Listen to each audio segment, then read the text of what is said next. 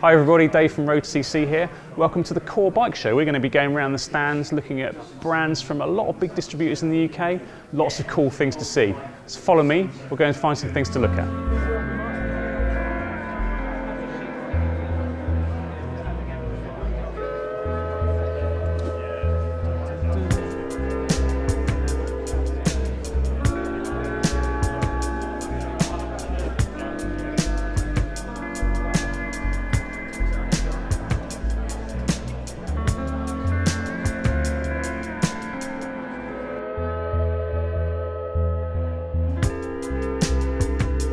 So here I am aboard the Tacx Neobike Smart. This is one of the first two of the production units in the country. So they are coming in.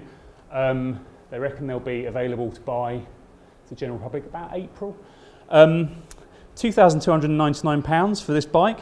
It uses the same magnetic resistance as the Neo 2 trainer uh, with a belt drive to the pedals.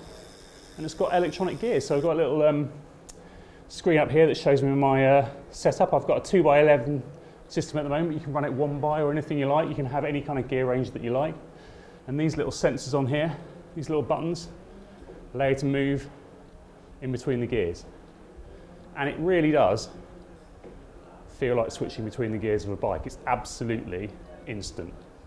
Very clever. Now You've got a tray here for your phone. You can put an iPad on the front. There's two USB ports at the front here that you can charge your iPad from while you're going. Got fans here that you can set to increase with the speed or increase with your heart rate or your power. And it's really nice, it's a really solid thing. So you can get out of the saddle, it feels nice and planted for putting the power down. Got a bottle cage there, and obviously, as a static bike, it's really adjustable. So there's lots of adjustment at the front and for the saddle height, so you can get exactly the position you want. So that's the Neobike. Uh, available from April probably, £2,299 to you.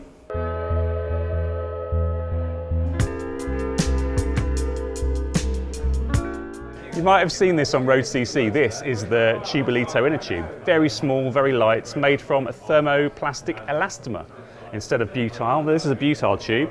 Look, you can see it's tiny, but it's not as tiny as this, which is the S-Tubo. So this is like uh, an emergency tube you can carry around with you. It's not as strong as this because it's not as thick, but it's even lighter and it's even smaller. So that take up barely any room in your luggage. I mean, you can carry as many of these as you like, I would think. Uh, not cheap, they're 30 pounds a go, but if you're looking to get the lightest and most space efficient way of carrying a spare tube, this is probably it right now.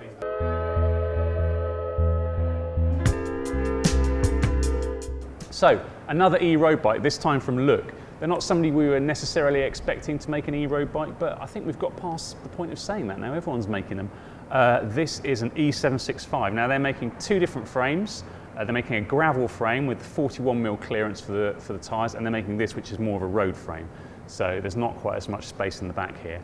Uh, the prices will range from five and a half grand right up to this bike, which is Ultegra Di2. It's got some Vittoria carbon wheels on it. This is £8,000. Now for the motor, they're using the Fazua down tube motor. So this is a German system. Uh, it's used on a lot of bikes. It's used on the Pinarello we've been making videos about recently. Cube use it, Fantic use it, uh, Cairn use it for their gravel bike. And it's a very good system. Um, powers the bottom bracket and you can pull the motor and the battery out so you can run this bike with just the bottom bracket in and it rides like a normal bike. So that's the Look E765. It's available uh, from April.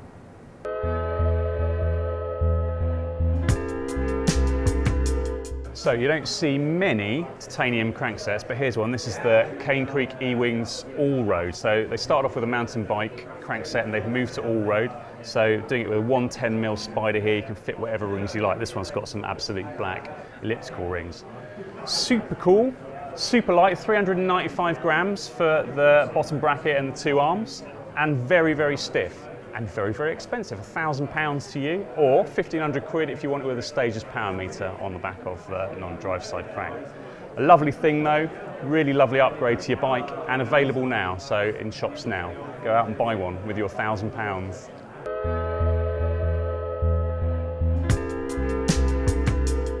Things are hotting up at the bottom end of the GPS market. This is the new Rider 15 from Bryton. So this is a full GPS for £70. Uh, it's going to be available imminently. Um, it links to five satellite networks, so it's not just GPS, it's GLONASS and three others as well that I can't remember. Galileo is one of them, there you go, the one that we're out of now. Um, and it's also Bluetooth compatible, so you can sync it to your phone, uh, you can get notifications on the device, you can sync it to your Bluetooth sensors, so any power sensors, speed and cadence, anything like that and it looks really good. And because it's a low power screen, it's got a long battery life as well, 16 hour battery life they're claiming. So looks like a really good option for anything from sportives to audax to commuting, anything like that. Look out for that, be out soon.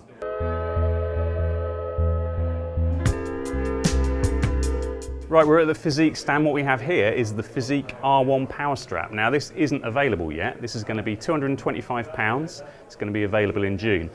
As you might be able to tell, this is in Movistar colours, so this is a Movistar team shoe. Now, the team have been using the R5 power strap with these Velcro straps as a winter training shoe, and they like the fit so much that they asked Fizik to make them a race shoe with the same straps. So this is using the R1 unidirectional carbon sole.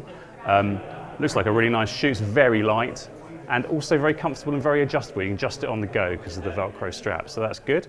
Um, as I say, available from June, £225.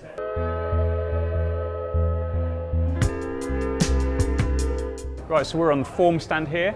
This is the Monsal. This is a gra carbon gravel bike. We've tested that. We really liked it. And this is a new bike from Forme. This is the Monyash. So they're doing this in two builds. They're doing this build, which is the new Tiagra hydraulic group set.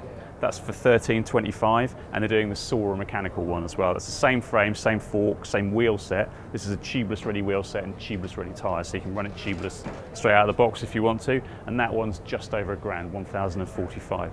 Looks like a really nice bike. It's got a more relaxed geometry, slightly more upright than the Monsal, and it's meant to be kind of all-round bike, so you can run it like this with gravel tyres on, you can do all-road stuff on it, you can put a rack on it, you put 25mm tyres on it, ride sportives on it. It's a little bit longer than a standard road bike, but it's a very versatile bike. You can do a lot of stuff on this. So, you know, you can have it as your one bike to do everything, or if you've got a really good bike you like to ride in the summer and you want a winter bike, it's the kind of thing you'd be looking to buy, you know, good all-purpose kit, hydraulic discs, Tiagra, should last all the way through the winter and you can stick some mud guards on it as well. So it looks like a really nice bike and we're going to try and get one of these in for test as soon as we can. So those are our highlights from the Core Bike Show for this year. If you've got any questions about any of these products, ask them in the comments below. We'll get them answered for you. And don't forget to like and subscribe for more like this on Road CC.